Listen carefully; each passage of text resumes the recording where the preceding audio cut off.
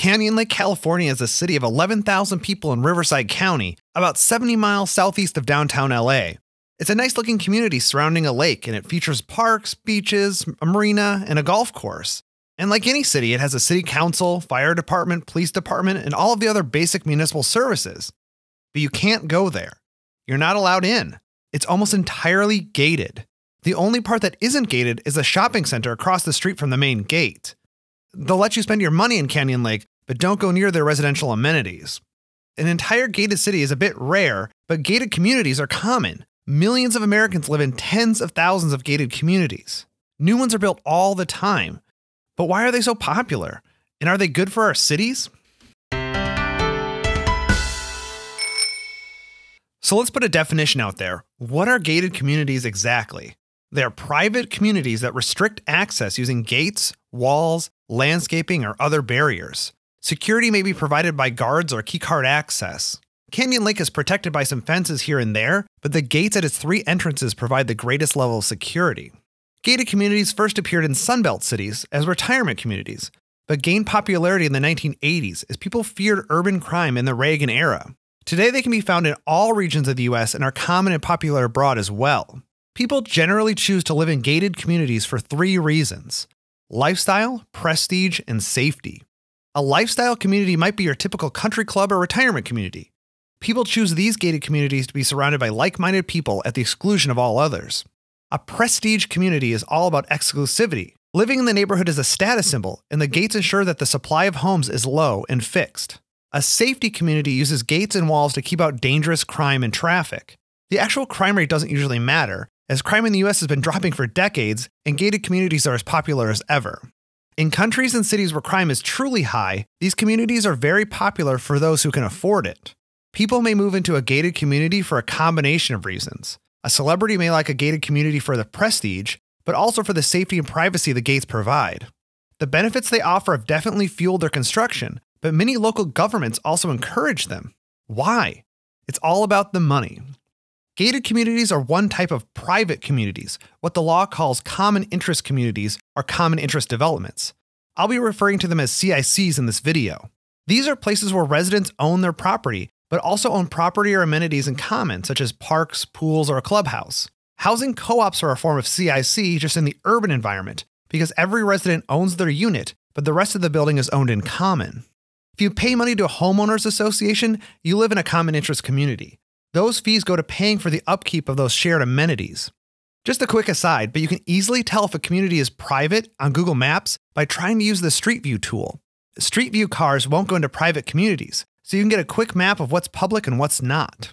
In most CICs, infrastructure like streets and stormwater systems are also private. The streets are private so they can deny access to people who aren't supposed to be there because, hey, it's private property. But it also means those roads aren't the city's responsibility to maintain.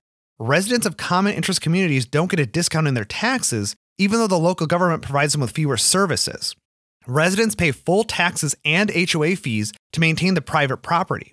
This may seem like a bad deal from the point of view of a resident, but it's a great deal for the local government. The local government gets all that tax money and they don't have to repave roads, plow snow, unclog storm drains, and maintain parks. In the largest gated communities, the HOA can act like a second government residents pay taxes to. In Hot Springs Village, Arkansas, the largest gated community in the US, the Property Owners Association has a staff of about 475 in departments that sound a lot like a real city public works, planning, public safety, and golf. That's all work that the local government doesn't have to be doing. There's another unlikely benefit to common interest communities. They can often be designed better than a public neighborhood. Now, in most places, the design of a CIC must meet the same standards as a public one. But since the local government won't ever be taking over the maintenance of a CIC's infrastructure and amenities, the government often lets things slide that it wouldn't otherwise. Designers of gated communities may have an opportunity to experiment with novel design concepts. One famous example of this is Village Homes, a CIC here in Davis, California. The community was designed and built in the 1970s and reflects the values of the environmental movement of the time. Streets were very narrow because a network of pedestrian paths is the primary circulation system.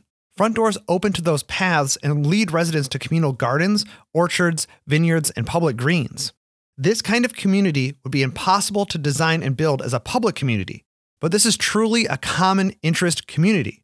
Residents buy into the neighborhood and the environmentalist philosophy, and the result is a truly innovative and amazing place to live.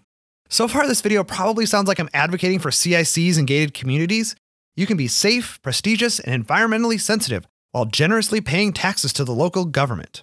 But there are still many negatives of gated communities, and they largely outweigh any positives.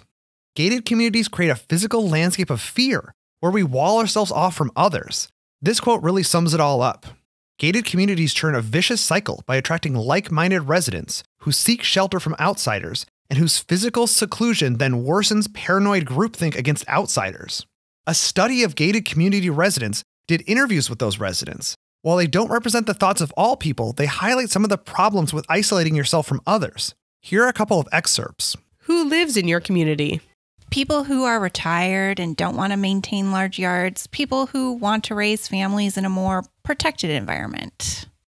What do you mean by that? There are a lot of families who have, in the last couple of years, after we built, as the crime rate or the reporting of that crime rate has become such a prominent part of the news of the community, there's been a lot of fear flight.